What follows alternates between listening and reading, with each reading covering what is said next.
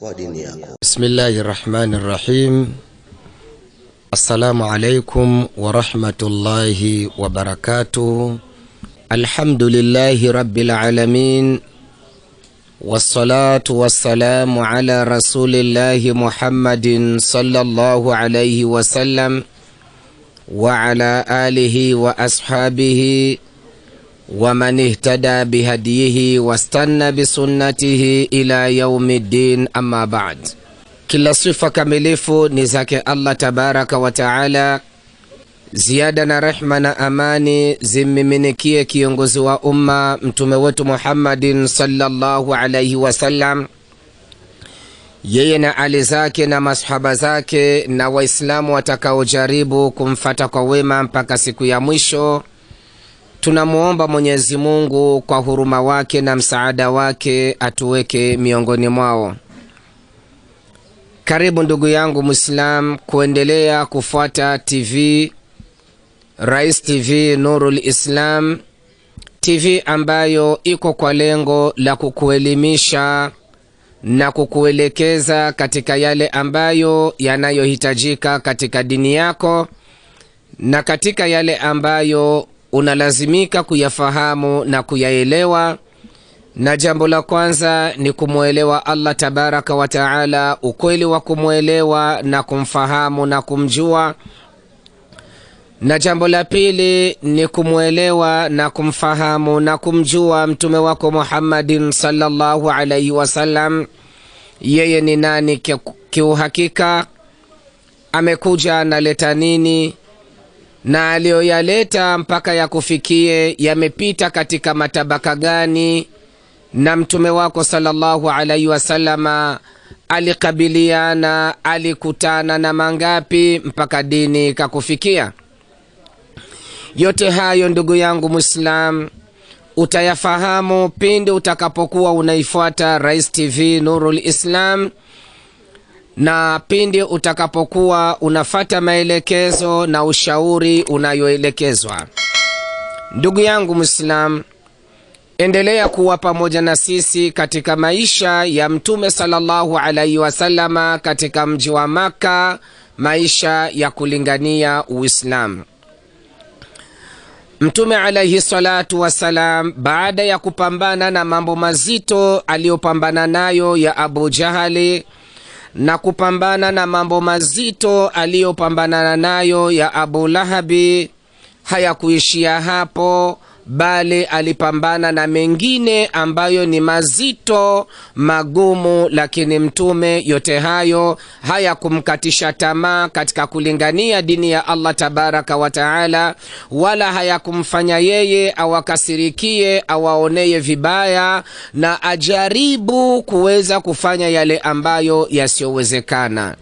Yote hayo mtume sallallahu alaihi wasallama aliyapokea kwa huruma, akayapokea kwa kusubiri, akayapokea kwa kujua kwamba ni moja katika maisha ya kazi ya dawa.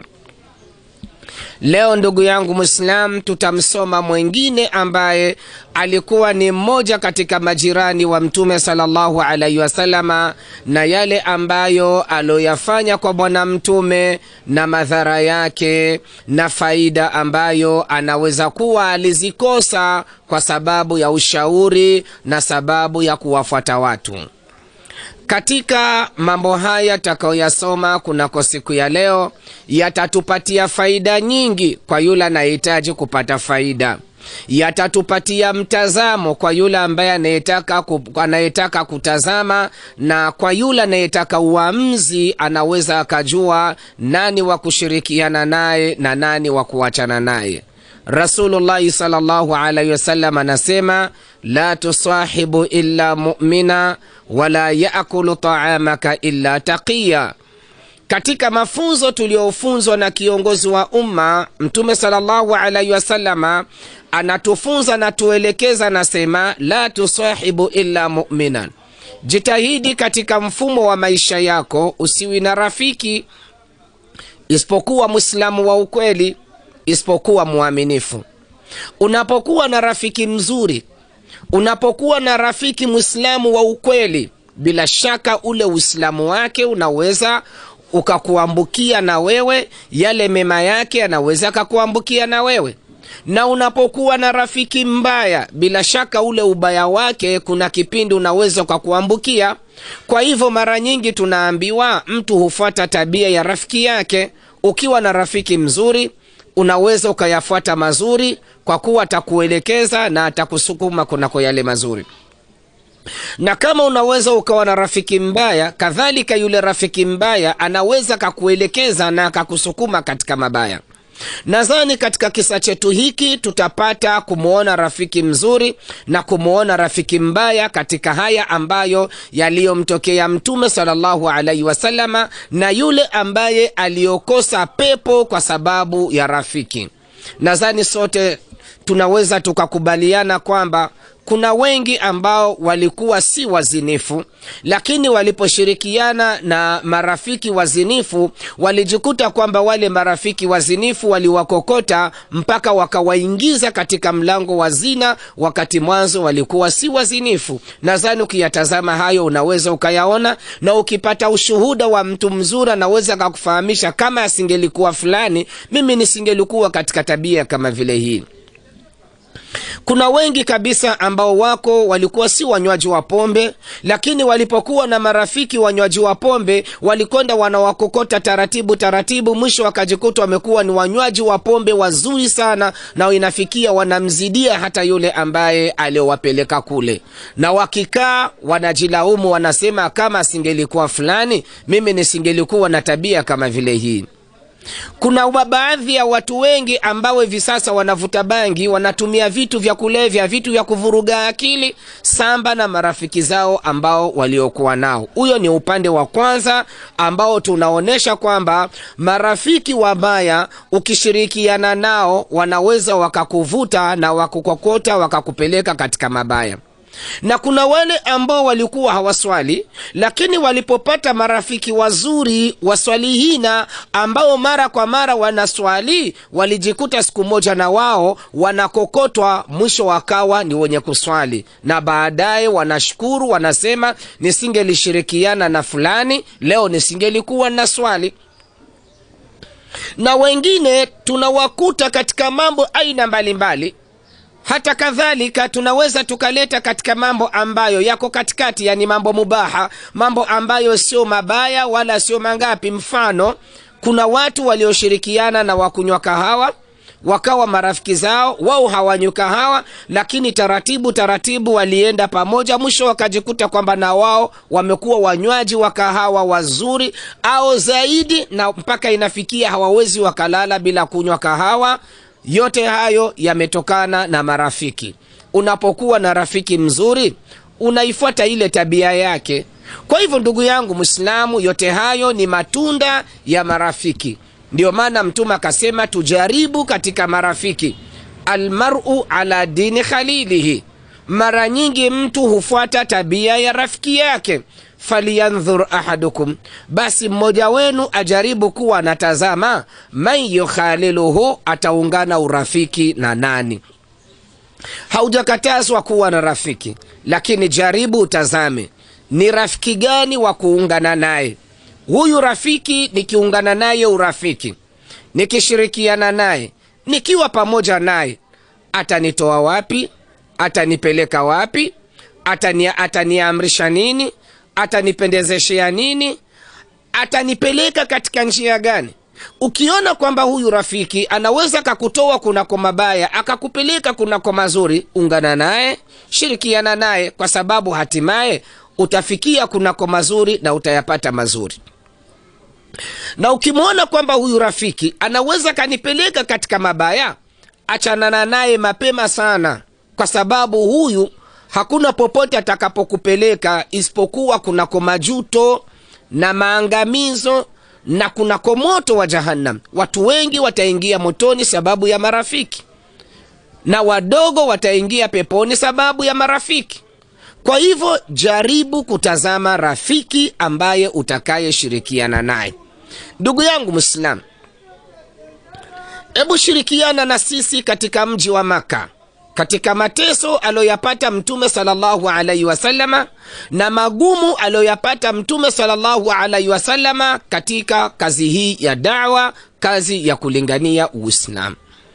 Na kuonesha kwamba hii kazi ya dawa si kazi nyepesi ni kazi ngumu lakini na ujira mkubwa sana kama wewe utaitambua na ukaielewa na ukaifanya kwa ajili ya allah tabaraka wa taala usitaraji malipo kutoka kwa watu. Usitaraji watu wakulipe kazi hii ya dini ujira wake uko kwa allah.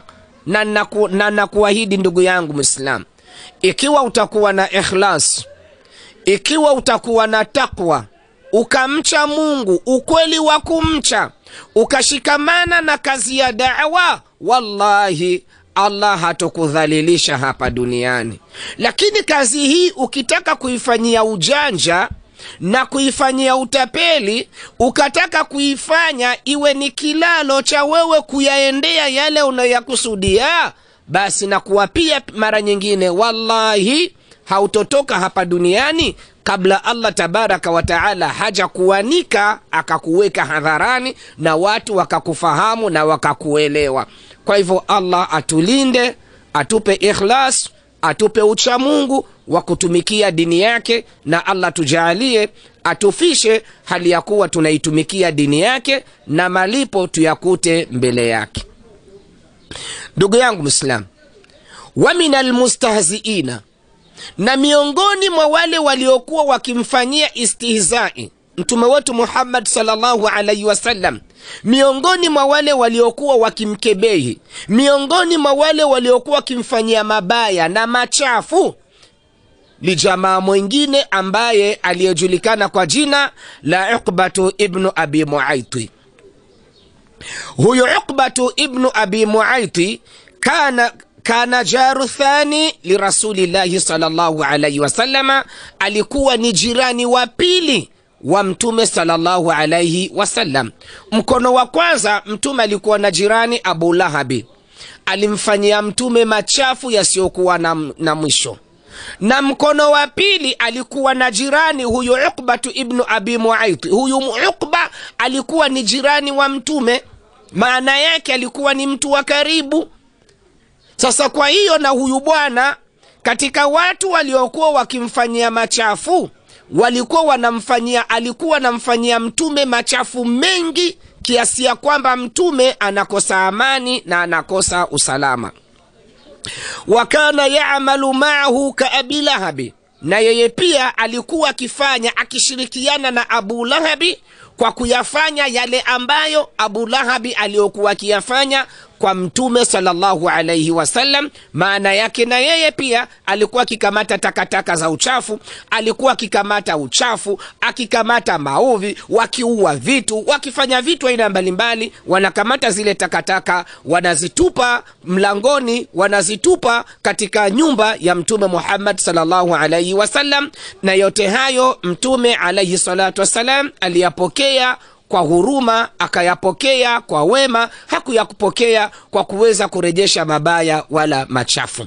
Mtume salllahu alaihi wasalama kasifiwa na allah ndani ya qurani wa innaka la ala khuluqin adhim muhammadi wewe ni mwenye tabia iliyokuwa nzuri na wafuasi wa mtume wanaombwa wamwigie mtume wao. Ndiyo maana allah kasema ndani ya qurani lakad kana lakum fi rasulillahi uswatun hasana mmekwishapata kiigizo kilichokuwa kichema kilichokuwa kizuri kwa mtume wenu muhammad sallallahu alaihi wasallam liman kana yarju llaha kwa yule ambaye anayetaraji kukutana na allah basi amepata kio amepata kiigizo naye si mwingine ni mtume. Kwa hivyo mwigie mtume wako kwa tabia alizokuwa nazo mwigie mtume wako kwa maisha aliyokuwa nayo. Mwigie mtume wako kwa huruma aliyokuwa nao na mapenzi aliyokuwa nayo. Na pinda alipokuwa akifanyiwa mabaya mwigie mtume alivyokuwa nakabil, anakabiliana nayo na alivyokuwa anarejesha. Je mtume alirudisha mabaya kwa mabaya? Jibu linasema hapana. Nadhani utaona moja kwa moja kwamba mabaya yote ambayo mtume aliyokuwa anafanyiwa aliyarejeshea mema na mpaka ilifikia kwa kuwa yeye alikuwa ni mwanadamu ana basharu mithlukum. Mtume alitangaza akasema mimi ni mwanadamu mfano wenu. Kuna kipindi na yeye alikuwa naumia kuna kipindi na yeye alikuwa nasononeka lakini kusononeka kwake na kuumia kwake hakuwa anarudisha mabaya kwa mwanadamu alikuwa akimshtakia allah tabaraka wa taala. kwa hivyo ndugu yangu Muislam, huyu jamaa uqba ibnu abi muaiti sanaa maratan walima. Siku moja aliandaa chakula cha mkusanyiko nyumbani kwake. Ni jirani wa bwana mtume na anamfanyia mtume machafu na anamfanyia mtume maovu na anamuudhi mtume wala hajali na anafahamu anaelewa kuwa mtume muhammad ni mtume wa allah na kweli wamekwishaona na alikuwa miongoni mwa wale ambao walioshirikiana kule mwanzo katika kuwa wanamwendea abu talibu amkataze mtume mwisho wakaona kwamba hawakufikia kwa chochote. Na heshima ya bwana mtume ikaendelea kupanda. Ndugu yangu mwislamu unaweza ukafanya mbinu za kumdhalilisha mtu allah kamwinua unaweza ukafanya mbinu za kutaka kumkandamiza mtu allah kamwinua kwa hivyo anayemwinua mtu ni allah anayemdhalilisha mtu ni allah. Usidhani kwamba wewe kumkandamiza mtu na kumuangamiza na kumweka chini kuwa ndio itakayekuwa sababu ya yeye kuwa chini na kuangamia. Hapana. Unaweza ukachukua majukumu ya kumkandamiza mtu na kumfanyia mabaya allah tabaraka wataala yale mabaya yote akayageuza kuwa mema na zile chuki zako zote allah kazigeuza kwa wanadamu yakawa ni mema na kufanyiwa mazuri. Kwa hivyo mtume sallallahu alaihi wasalama utukufu ulikwenda unapanda katika mji wa maka na wakumwamini wakaenda wanaongezeka wakubwa na wadogo mpaka mtume akatokea kuwa mtu maarufu mtume akatokea kuwa mtu wa heshma japokuwa wanakabiliana naye kwa kuweza kuteremsha heshma lakini heshma ya mtume haiwezi ikateremka kwa sababu inapandishwa na allah. Wao midomo yao na vitimbi vyao na yale wanaoyafanya hawawezi wakasababisha sharafu ya allah kwa mtume wake iteremke. Na wewe ndugu yangu mwislamu utakaposhikamana na taa ya allah tabaraka wa taala ukashikamana na utukufu wa allah ukashikamana na yale allah aliyoyataka lazima allah atakuinua japokuwa watu wote watataka ukandamizwe na wakufanyie mambo ya kukukandamiza allah atakuinua tu kwa hivyo ndugu yangu uqbatu ibnu abi muaiti sanaa alifanya walima wake. Alipofanya walima wadaa laha kubarau quraishin na akawaita akawaarifu wale viongozi wakubwa wakubwa wa kiquraishi wote akawaarifu waje wahudhurie kunako walima yake ambayo aloifanya wafihim rasulu sallallahu alaihi wasalama na katika viongozi hao ndani yake alikuwemo mtume wetu muhammad sallallahu alaihi kwa hivyo ndugu yangu mwislam katika mji wa maka na vitimbi vyote walivyovifanya na mabaya yote waloyafanya, hakutafutwa kiongozi isipokuwa na sura ya muhammad ilionekana. Naam allahu akbar الله أكبر قل اللهم مالك الملك تؤتي الملك من تشاء وتنزع الملك ممن تشاء وتعز من تشاء الله أنا متكوزا يولي amtakaye. Yule anayemtaka allah allah anamtukuza. Kwa hivyo mtume katika mji wa maka alitukuzwa akawekwa juu kiasi ya kwamba akitafutwa mtukufu lazima na sura ya muhammadi ije katika watukufu. Akitafutwa mtu mwenye hadhi na sura ya muhammadi inakuja katika wale waliokuwa na hadhi. Kwa hivyo ikiwa wanatafutwa wale ambao wanaitwa katika mji wa maka kwa utukufu wao na hadhi zao na vyeo vyao lazima na muhammad salllahu alaihi wasalama atakuwemo watakataa tu lakini wataona kwamba na muhammadi anafaa kwa hivyo Uqbat bnu abi Muaiti akawaita viongozi wote wakubwa Makuraishi, na ndani yao akiwemo mtume wetu Muhammad sallallahu alaihi wasallama, naye pia aje ashiriki kunako walima ambao kauandaa na tabia ya mtume sallallahu alaihi wasallama ilikuwa ni kuitika wito, na ndio maana katika Uislam tumefundishwa kwamba mmoja wako atakapokuita mwitike, na katika haki miongoni mwa haki za Mwislam mtume anasema wa idha daaka, na ndugu yako Mwislam atakapokuita faajibuhu, basi mwitike ni haki min huquqi lislam, ni haki katika haki za Kiislamu za mwislamu kumtendea ndugu yake na jirani yako kadhalika, naye pia ikiwa kwamba atakuarifu basi mwitike. Na kawaida mtu aliyokuwa muungwana hakataagi wito, anakataaga kilichokuwa ndani ya wito. Maana yake ni kwamba mtu anapokwita, wajibu wako ni kumwitika utakapomwitika utasikiliza kile alichokuitia.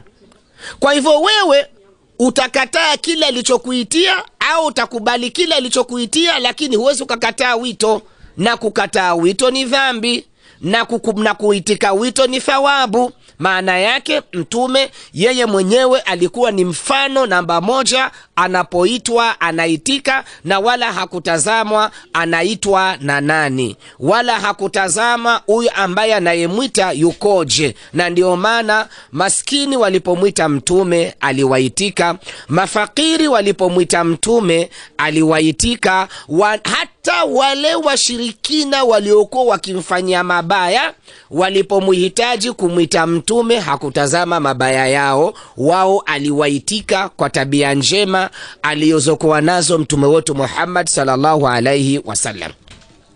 Kwa hivyo Uqbatu bnu abi Muaiti alipomwita Mtume, bila shaka Mtume kamwitika. Alipomwitika Mtume akajumuika pamoja na wale viongozi wote waliokuwa pale, anawaona japokuwa wanamfanyia mabaya na anawajua, sio kwamba hawajua, anawajua ni wa pale pale Maka. Wamoja ni wandugu zake, wangine walikuwa marafiki zake, wangine walishirikiana na babu yake katika kuchunga lkaba na wengine walimlea, na wengine walimshauri, na wengine anaishi nao akiba zao wanaziwekesha kwa Bwana Mtume na Mtume anawahifadhia akiba zao, lakini wakizunguka wanaenda kufanya mbinu za kumuua Mtume sallallahu alaihi wasallam. Kwa hivyo usioni ajabu mtu anakufanyia mabaya, anakuteta, anakusengenya, anakutukana, lakini baadaye akigwida unamwona anakuzungukia, anakujia wewe huyo huyo. Hata zama za Bwana Mtume yalikuwepo. Kwa hivyo kama una uwezo wa kumsaidia usikosi kumsaidia, we msaidie, kwa sababu hata Mtume aliwasaidia wabaya wake ambao anawaelewa na wanakuja wanaweka hazina yao kwake na anawahifadhia hazina hiyo. Tutayaona mbele ya safari katika maisha ya Mtume sallallahu alaihi wasallam. Kwa hivyo walipokusanyika, ikafikia wakati sasa wa kutumia chakula. Ilipofika wakati wa kutumia chakula Uqbatu ibnu abi Muaiti akamkaribisha Mtume. Yenda kajipakulia, chukue chakula. Faqala alaihi salatu wassalam, pale pale Mtume alaihi salatu wassalam akasema akimwambia Uqba, tena bila kumwokopa, akamwambia ya Uqba, ewe Uqba, wallahi la akulu taamaka hata tu'mina billahi, ewe Uqba, ninakuapia kwamba sintokula chakula chako mpaka umwamini Allah. Muamini Allah. Ukba, wewe mshirikina, we unaabudu masanamu, wewe unaabudu masanamu, we unategemea masanamu, wewe unachinja kwa ajili ya masanamu. Sasa kwa hiyo mimi siwezi nikala chakula chako mpaka itikadi yako ibadilike. Allahu akbar! Fundisho la Bwana Mtume linasemaje? la tusahibu illa mu'minan usishirikiani kuwa na rafiki isipokuwa mumin mwislamu wa ukweli. Wala taakulu taamaka illa takia na wala usithubutu kumlisha mtu chakula chako isipokuwa yule mcha mungu. Kinyume chake maana yake na wewe usili chakula isipokuwa cha wacha mungu wale watu wema. Hapana kuwa na tabia ya kwenda unakulakula hovyohovyo. hovyo kuna vingine vyakula haviliki mwislamu ha, hali ovyo ovyo, mwislamu anatazama nyumba gani ya kula? Mwislamu anatazama chakula gani chakula mwislamu anatazama sio kama vile mfano leo waislamu wote wamekuwa ni watu wasioeleweka. Leo unatembea ndani ya nyumba ya mwanamke ambaye asiokuwa na mume. Sasa wewe unakutana amekukaribisha pale kapika kuku kapika pilao kapika vitu aina mbalimbali. We unafika tu unakula haujui vyakula vimetoka wapi leo kuna baadhi ya wanaume nyumbani kwake rasio aliyoitoa anaifahamu huduma aliacha nyumbani kwake anafahamu. Leo anakuja anamkuta mke wake kapika kitoweo anakuta mke wake kapika samaki yeye anafika tu anakula. Hii si tabia ya mumin mumin anatazama kabla ya kula naulizia mkeo umemwachia huduma? Je huduma uliyomwachia inakubaliana na kununua nyama? Inakubaliana na kununua samaki? Mwanaume anayejitambua mwanaume anayejielewa chakula hiki hali. Umeacha huduma ya kula ugali unakuta mkeo kapika ubwabwa. Lazima ujue ubwabwa huu umetoka wapi na umeingia ndani ya nyumba yako katika njia gani. Kwa sababu ukipanua tu mdomo kulakula hovyo ipo siku utakula visiolika ipo siku utapanga majina ya watoto wakati watoto ni mbegu zingine na leo hautokataa kwa sababu ulikula. Katika maneno mazuri ya watu wanasemaje? E, maneno nasemaje? Anasema hivi amana inapoingilia mlangoni zawadi inapoingilia mlangoni amana inatokea kunako tundu. Na wewe ndugu yangu mwislamu ikiwa utakuwa na tabia ya kupanua mdomo. Kila unachokiona unaweka mdomoni mwako. Basi elewa kwamba amana ipo siku itatokea kunakodirisha na wewe kesho usijukajute. kwa hivyo mwislamu mzuri ni yule ambaye katika maisha yake hali kiholela holela. Anatazama chakula gani chenye atakula na anatazama atakula kwa nani na anatazama huyu ambaye mimi nakula kwake. Chakula chake je ni cha halali? Ama huyu nayemkaribisha yeye kula kwangu ni mtu ambaye baada ya kumaliza kula atasema alhamdulillah atakwenda msikitini, atasoma qurani atamswalia mtume zile nguvu za kile chakula alichokitumia je zitaleta manufaa katika umma wa kiislamu? Zitaleta manufaa kwa kulinda sheria za allah? Zitaleta manufaa kwa kukataza mabaya? Unafikiria unachukua uamuzi wa kumwita mtu ambaye atakapokula nyumbani kwako kil, zile nguvu za kile chakula zitaleta manufaa.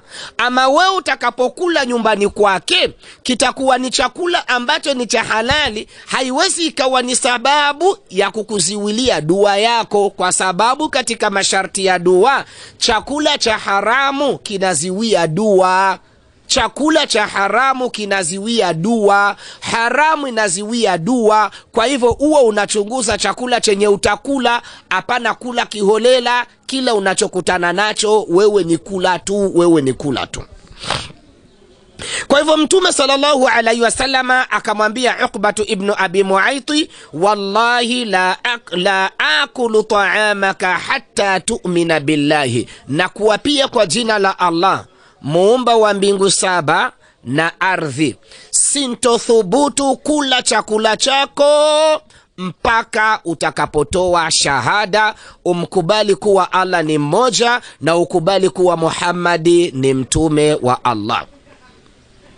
Ndugu yangu mwislam uqba ibnu abi muaiti fatashahada akatoa shahada akatoa shahada akaona kwake ni aibu kuona mtu kama mtukufu kumuona mtu kama muhammadi ambaye ni mtume wa allah. Anasifiwa aminun ni mwaminifu swadikun ni mkweli. Leo anakuja nyumbani kwangu wengine wote wanakula yeye atoke bila kula? Akaona hapana. Fatashahada akashuhudia akatoa shahada faakala nabiyu sallallahu alaihi wasallama baada ya kumaliza kutoa shahada akawa mwislam pale pale mtume sallallahu alaihi wasallama akatabasamu baada ya kutabasamu akatumia chakula kwa kujua kwamba hiki chakula nakula ni cha ndugu yangu mwislamu na wewe ndio hivyo unavyostahili kuwa. Jaribu huo unakula chakula cha ndugu zako waislam sio kula kiholela. Kafiri mkikutana naye anakupa unakula. Myahudi unakula mke mal, mwanamke malaya unakwenda kwake unakula unajua hana mume wala hana nini. We unakula kula tu. Huyu anafanya kazi ya kuuza bangi we unakula tu vyakula vyake. Huyu anafanya kazi ya riba we unakula. Utaishia wapi ndugu yangu mwislamu mwislamu hastahili kuwa hivyo. Mwislamu anatazama nyumba atakayekula.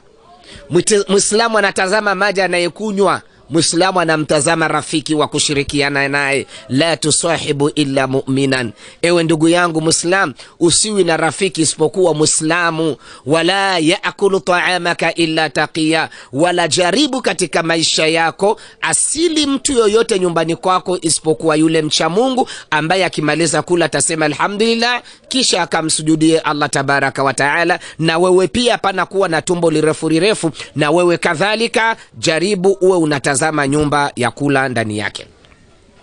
Baada ya mtume salllahu alaihi wasalama kumaliza kula walima ikawa imemalizika mtume akarudi nyumbani kwake kwa hali ya kuwa anajua kwamba ukbatu ibnu, ibnu abi muaiti tayari moja kwa moja amekwisha slimu amekwisha kuwa mwislam na mtume akasema alhamdulillah akawatangazia waislamu kwamba tumempata ndugu yetu mpya ukba ibnu abi muaiti hivi sasa akawa mwislam walima ilipomalizika watu wakasambaa.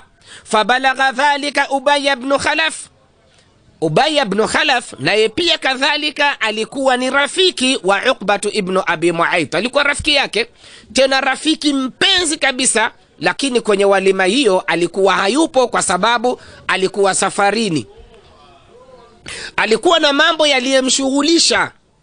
Kwa hivyo hakuweza yeye kuhudhuria katika ile ile walima ambayo iliyofanywa na rafiki yake Uqba.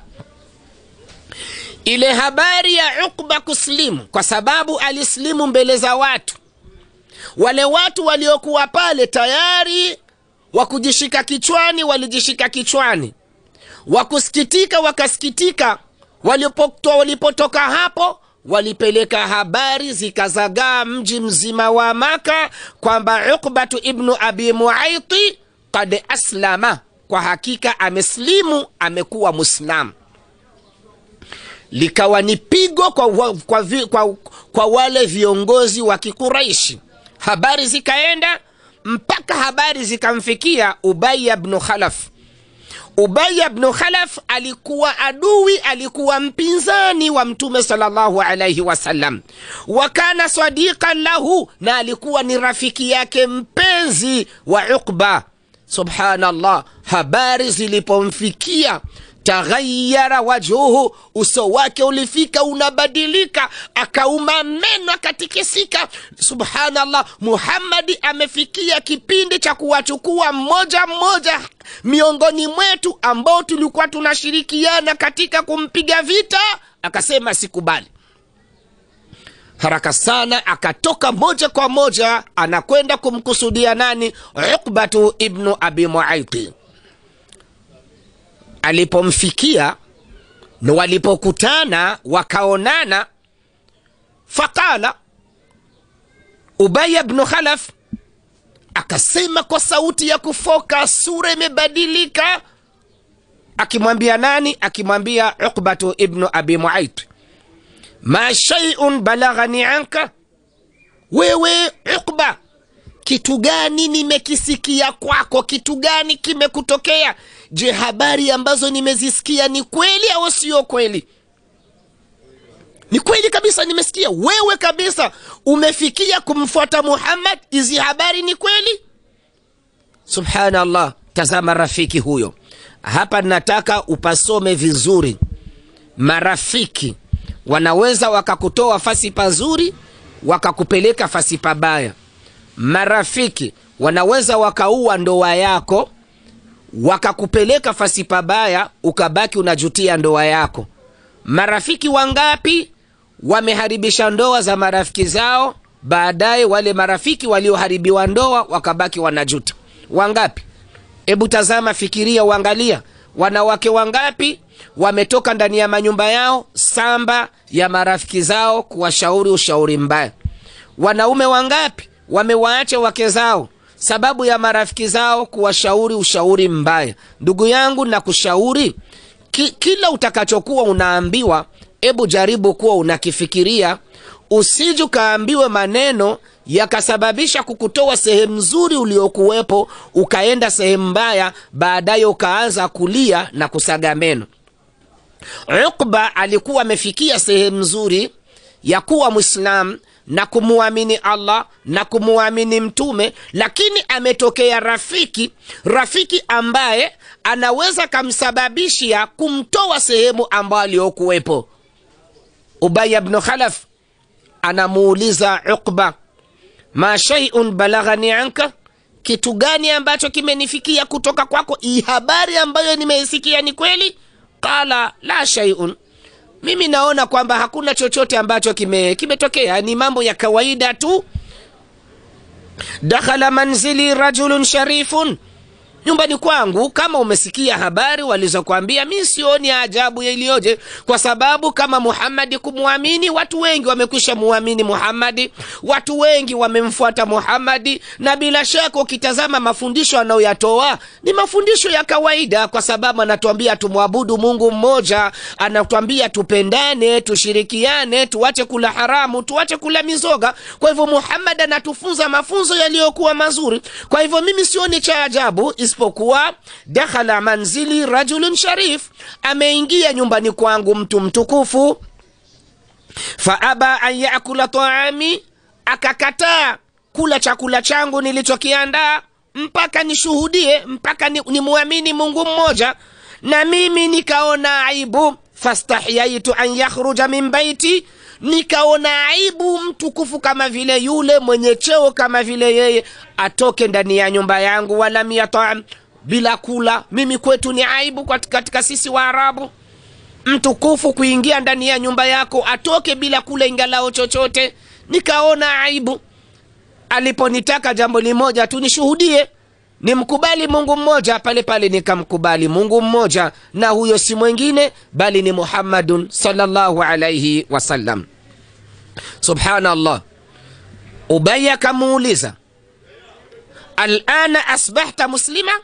Hivi sasa umekwisha kuwa mwislamu akamwambia naam hivi sasa mimi ni mwislam hivi sasa umemkubali yule mungu mmoja? Akamwambia naam hivi sasa umemkubali muhammadi kuwa ni mtume akasema naam hivi sasa umeachana na ibada tulioachiwa na wababu zetu? Akamwambia naam.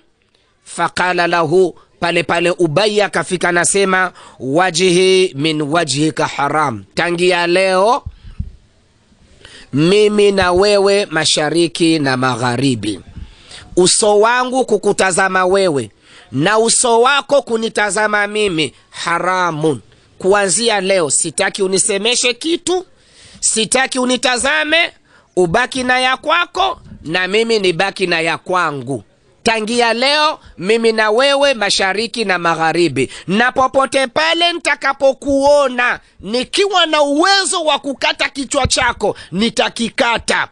Isipokuwa kama unataka mausiliano yaendelee mpaka uyafanye yale ambayo ntakayokuamuru kuyafanya. Ndugu yangu mwislamu ukba alipoyasikia haya maneno yanatoka kwa ubaya bnu khalaf pale pale akabadilika. Aka kwa sababu alikuwa ni rafiki yake. Alikuwa ni mtu wake wa karibu. Subhanallah. Akashtuka ndugu yangu mimi tu kuslimu ndiyo kumesababisha kuleta haya yote ambayo unayazungumza akasema naam hakuna kitu kingine kama unataka mimi na wewe urafiki wetu uendelee fuata yale ambayo nitakayokwambia utakayokwenda kuyafanya kwa muhammadi la sivyo mimi na wewe tangia leo imekuwa haramu kuonana na kuzungumza. Na hivi sasa niko nazungumza na wewe kwa sababu haujaleta uamzi ukileta uamzi tu mimi na wewe tunamalizana. Kama utaendelea ndani ya dini ya muhammadi mimi na wewe tunamalizana. Na kama utaamua yenye nataka nikwambie basi mimi na wewe tutaendelea kuwa marafiki. Akamwambia basi ayo unaoyataka niyafanye kwa muhammadi. Yanaambie basi nikayafanye. Lakini urafiki wa mimi na wewe uendelee. Ujamaa wa mimi na wewe uendelee ya salale ndugu yangu wangapi walikuwa ni wema wamekata mausiliano ya mola wao sababu ya marafiki? Subhanallah. Faqala ubaya bnu khalaf. Ubaya bnu khalaf akasema akimwambia hivi sasa na kuamuru nenda popote pale penye utamuona muhammad. In laqita muhammadan popote pale utakapokutana na muhammadi ukamuona muhammadi lazima kitu cha kwanza chenye atafanya muhammadi atatabasamu kwako wewe. Atakutolea salamu. Atakuja kwa lengo la kutaka kukukumbatia na kukupa salamu. Kitu cha kwanza utakachokifanya nenda haraka sana. Ukimuona tu muhammadi pale pale mkamate kwenye shingo utakapomkamata kwenye shingo pale pale ukandamize kichwa chake chini kisha umwinue ndani ya sura uko yani ufike unakamata kikohozi umtemee ndani ya sura umwambie nilikuwa na kukebehi, wala tangia leo mimi siniko ndani ya dini yako nimeshatoka mimi sio mwislam na kama niliyafanya niliyafanya tu kwa sababu ule tu chakula changu. Ukiyafanya hayo urafiki wa mimi na wewe utaendelea. Na kama haukumkamata muhammad ukaminya kichwa chake ukakimimina chini ukakididimiza chini ukamkokota ukafungua sura yake ukamtemea mate ndani ya uso tena mate ya kuonekana mimi na wewe urafiki hautokuwepo. Na kama utafanya hivyo urafiki wetu utaendelea na utazidi na nitakupongeza na nitakuweka miongoni mwa watu waliokuwa bora tena wenye thamani upande wangu. Yule jamaa yule jamaa uqba ibnu abi muaiti akaona hakuna la kufanya. Basi siku moja katika matembezi matembezi mtume sallallahu alaihi wasallam akakutana naye alipokutana naye mtume akatabasamu akajua kwamba amekutana na ndugu yake mwislamu amekutana na ndugu yake aliyemwamini allah. Pale pale mtume akamsogelea kama yule anayekwenda kumpa salamu akamsogelea kwa kumtolea salamu pale pale ukba akafika na msogelea kwa bwana mtume akashika kichwa cha bwana mtume akamnyonga bwana mtume akamkandamiza chini. Mtume anaona ajabu. Kisha akanyanyua akamfungua kichwa chake akafika na mtemea mate ndani ya sura. Alipomtemea mate ndani ya sura akafika na msukuma mtume akamwambia mimi nilikuwa na kudanganya siko ndani ya dini yako. Tangia leo jijue wala mimi siko Muislamu mfano wako mtume salllahu alaihi wasalama akastaajabu kwa yale ambayo aliyofanyiwa na uqba. Subhanallah. Hebu mtazame mtume wetu muhammad salllahu alaihi wasalama aliyokutana nayo anayewafikiria mema anayowafikiria mazuri wanamfanyia mambo ambayo hata kibinadamu hata kiakili haiwezekani. Kwa hivyo ndugu yangu mwislam kazi hii ya dawa mtume alikutana na mengi faanzala llahu fihi fi surati lfurqan allah tabaraka wataala hakukawia. Mtume machozi anamtoka. Mtume analia. Mtume anastaajabu. Huyu ni uqba ibnu abi muait je huyu ni yule aliyotoa shahada? Huyu ni yule ambaye aliyokubali kuwa mungu ni mmoja na mimi ni mtume wa allah? Leo ananifanyia mambo kama vile haya ananiaibisha katikati za watu ananiaibisha barabarani. Naam. Hii ndiyo dunia. Na hawa ndio marafiki. Amefanya kwa kulinda urafiki. Amefanya kwa kulinda ujamaa wake. Lakini akasahau kwamba leo yuko duniani kesho atatoka allah tabaraka wataala akateremsha sur akateremsha aya katika suratul furqan kuanzia aya ya 27 mpaka aya ya 28 allah tabaraka wataala anasema audhu billahi min shaitani rajim بسم الله الرحمن الرحيم. ويوم يعض الظالم على يديه. يقول يا ليتني اتخذت مع الرسول سبيلا. يا ويلتى ليتني لم أتخذ فلانا خليلا. لقد أضلني عن الذكر بعد إذ جاءني وكان الشيطان وكان الشيطان للإنسان خذولا. الله أكبر. Aya hizi zikateremka samba ya uqbatu ibnu abi muaiti pamoja na ubaya bnu khalaf. Aya hizi zikateremka kwa kumliwaza mtume mtume atulie aya hizi zikateremka kwa sababu ya kuwatii marafiki na bila kufikiri huyu rafiki ananiamrisha nini anataka nitoke wapi anataka nende wapi. Na hii aya hizi zinatumika kwa kila yule ambaye aliyokuwa na rafiki yake. Asipokuwa makini aelewe kwamba yaliyomkuta ukba na yeye anaweza yakamkuta. Na wewe pia kuwa makini unaweza ukawa na rafiki mfano wa ubaya bnu khalaf ambaye lengo lake ni kukutoa katika mazuri na kukupeleka katika mabaya.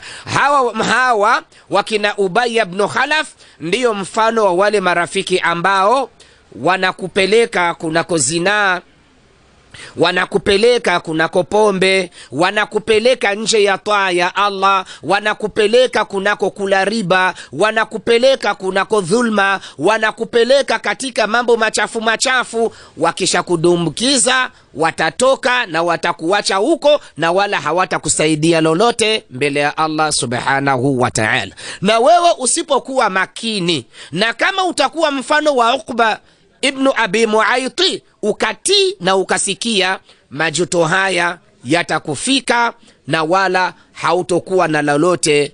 Subhanallah. Ndugu yangu mwislam allah anasemaje? Wa yauma yaaddu dhalimu ala yadaihi na siku ambayo dhalimu atauma kidole. Siku ambayo dhalimu ataiuma atauma kidole chake. Akishika kidole chake na kiuma yaqulu ya laitani akipiga kelele oleo wangu ittakhadhtu maa rasuli sabila. Ningelijua nikashikamana pamoja na njia aliyonielekeza mtume wa allah. Ningelijua nikashikamana na maelekezo ya mtume. Ningelijua nikashikamana na yale mafundisho ya mtume. Ningelijua. Ningelijua ni mjukuu ningelijua ni majuto. Ya laitani ole wangu. Ole wangu. Ningeshikamana na bwana mtume nikashikamana na mafundisho yake. Ya wailata laitani oleo wangu.